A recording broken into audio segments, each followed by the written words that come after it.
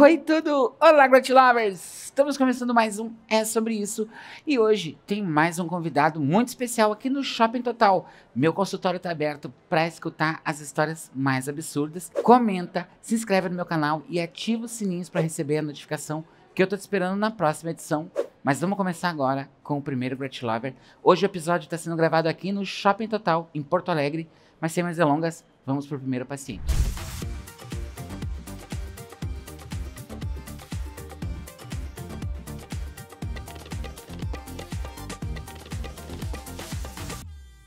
E mais uma vez, eu não vou falar quem é a Fábio. Quem vai se apresentar é a minha paciente Fábio. Fábio, vende tua couve pra gente. É, quem é a Fábio? Me conta, o que tu faz da vida, Fábio? Então, eu trabalho num, num setor administrativo, né? Trabalho num, num, clube social aqui de Porto Alegre.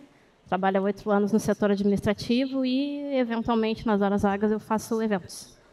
Tá. Sou DJ, acho que sou DJ. DJ, que bacana. É. Mas assim, DJ, DJ Fabi, gostei. Ô, Fabi, tu veio pra cá pra tratar o trauma de uma história. Sim. Resumidamente, conta pra gente essa história. Tu me contou ela de uma maneira muito curta, mas É. e eu gostei muito porque é resumida, entrega, tem virada, tem roteiro, gostei muito. Mas tu conseguiu entender a... Achei maravilhoso. Conta pra gente que depois eu tenho umas perguntas pra te fazer a respeito dela. Vai lá. Tá. Foi em 2004, então. Eu estava na... Eu, eu posso falar marcas? Porque Pode falar. marcas. Depois Tem- a gente põe um pi se for o caso. Tranquilo. Então, quem é mais antigo aqui sabe, eu estava na Praça da Encol, Uhum. eu e mais duas amigas, numa sexta-feira à noite. Na época, eu trabalhava num escritório de contabilidade, recebia por semana. Tinha 50 reais no bolso, na época, 50 reais 50 reais um sonho. era um sonho. E a gente estava no, no posto da Encol, como qualquer jovem naquela época fazia, tomando cerveja. Abria o capozão do carro, tomando cerveja, chegou um casal de promoters. Ele, lindo, maravilhoso, ela, linda, maravilhosa, nos entregaram um panfleto. E nesse panfleto dizia assim, ó, é, bebida liberada até meia-noite. Nos olhamos, o que, que a gente fez? Partiu festa. Vamos lá. Só que a gente chegou muito cedo. E a casa ainda estava, tipo, fechada as luzes estavam todas acesas, então a música estava muito baixa. Então a gente começou a andar pela casa, para conhecer a casa. Ah, que legal, aqui é a copa, aqui é a pista, lá, lá em cima tem, né, tem mais dois, três andares e tal. E aí fomos indo e daqui a pouco a casa foi começando a encher, foi começando a criar cara de balada mesmo, a música começou a tocar. Virou uma balada legal. Virou um troço tranquilo e, como Uhum. diz o panfleto, a bebida era liberada. E Digamos que a Fábio se permitiu. me permiti demais. Se permitiu bastantão. Com força. Aí começamos a dançar, dançar, dançar, dançar. A pista foi enchendo, foi enchendo. Daqui a pouco chegou um moço do meu lado. A Fábio continuou se permitindo. Aquele moço me, me destruiu, assim. Ele chegou tão perto de mim, ele me seduziu e a gente começou a dançar, dançar, dançar loucamente. Tu ficou com cara. Fiquei, casei na festa, Que maravilha. né, novinha. Mas enfim, daí larguei as gurias e me subi. A vida é uma só. Fui para cima. Só que lá a coisa esquentou e, enfim, vocês sabem, né? E vai, e volta, e, e mão na coisa, e coisa na mão. E aí ele pegou e disse assim para mim, ai, senta aqui no meu colo. E eu, tá, sentei. Ele, ah, quer uma bebida.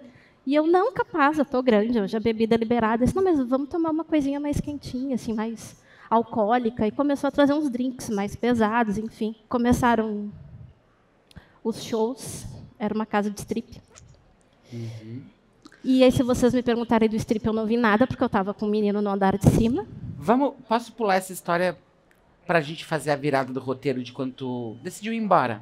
Vou embora. Tá, que pra mim é a melhor parte dessa a, história. A noite virou uma coisa que eu não sei explicar. Foi uma noitadona boa. Vamos pagar a conta e vamos embora, porque era sexta-feira, sábado. A conta que era tinha. quase nada, porque era bebida liberada. Era bebida liberada, gente. Ora, vamos pro caixa, vamos. Daí fomos as três, a menina foi. Na época era uma máquina que saía aquelas fitas, assim, sabe, subindo. Tará, tará, tará, Uhum. subindo. Aí a primeira menina deu lá 30 reais na época. Lembra que 50 reais era dinheiro, né? Tá, daí a fita da segunda menina também, duas folhinhas, tá, chegou na minha, aquela folha tá, tá, tá, Uma fita desse tamanho, né? 400 reais e 10 centavos.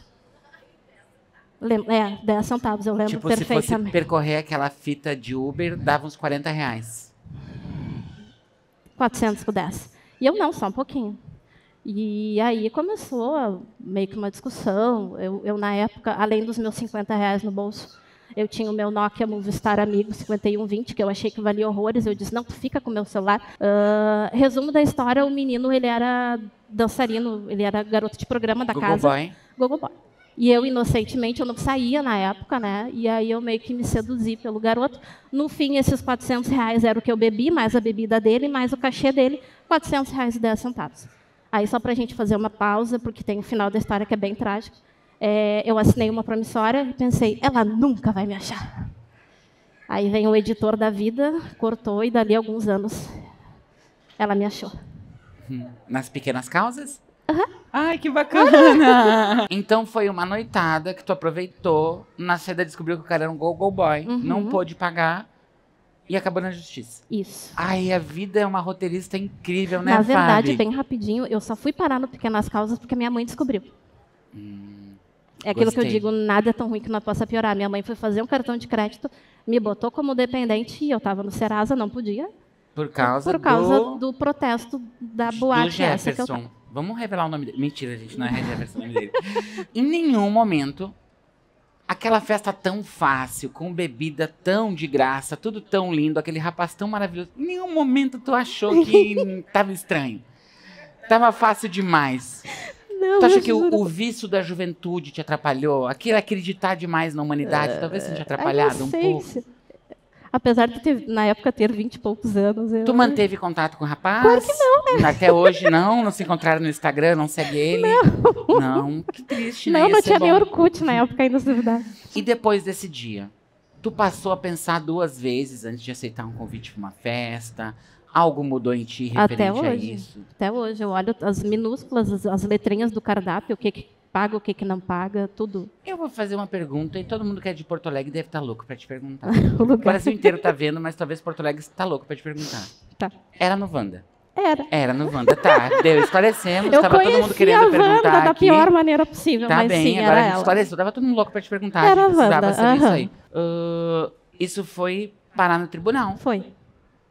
Como que foi pra ti explicar isso pro juiz?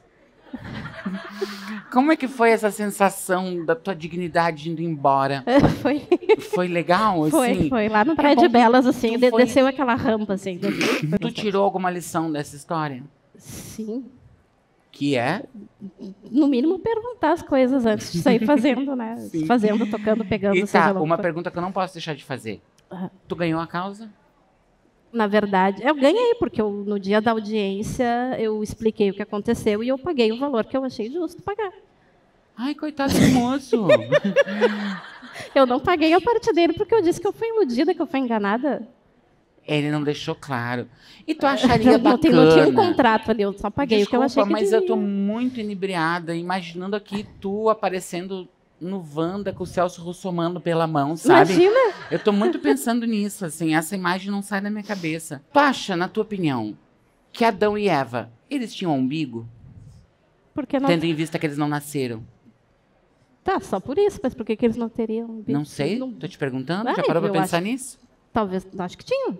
Tu acha que tinha? Sim. Nunca parei pra nisso. pensar nisso, mas. E por que que aqueles pilotos kamikaze, eles usavam capacete? Se eles iam se jogar contra as coisas. Por quê?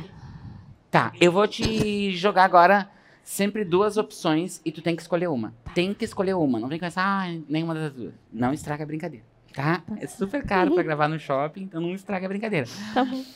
Em uma festa, Não, não, vem comigo. Em uma festa, Macarena ou Ragatanga? Macarena sempre. Onda Onda ou Dança da Mãozinha? É, mãozinha. Dança da Mãozinha, boa escolha. Faustão Raul Gil? Raul Gil. Pablo Vittar Glória Groove? Glória Groove.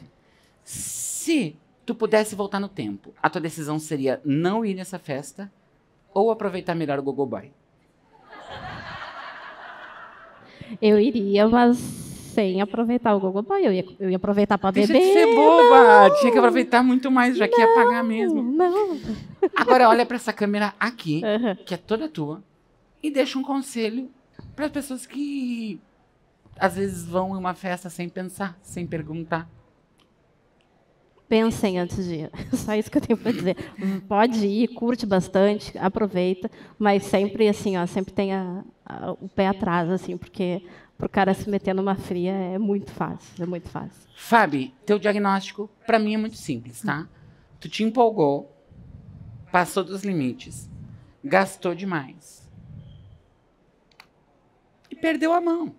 No fim das contas, a Fábio tá tudo certo. É só uma emocionada, mas que segurou o BO dela, ou seja, uma libriana apaixonada. A Fábio é mais uma de nós. Obrigada, hum. Fábio.